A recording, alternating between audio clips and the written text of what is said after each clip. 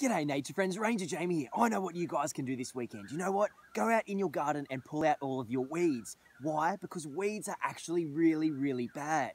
But why are they so bad? Like really, come on, they're just weeds, who cares? Well, believe it or not, weeds actually are incredibly successful. You know why they're so successful? Because they grow so, so quick. Their germination period, which means from when they're really, really little to when they're really, really big, is incredibly fast. They can grow up to 10 to 20 times faster than our Australian plants. And if we continue to have these weeds in our backyard, they will eventually spread into our national parks and all over Australia, which they already are. So guys, please go out and pick out all of your weeds to help save our Australian plants.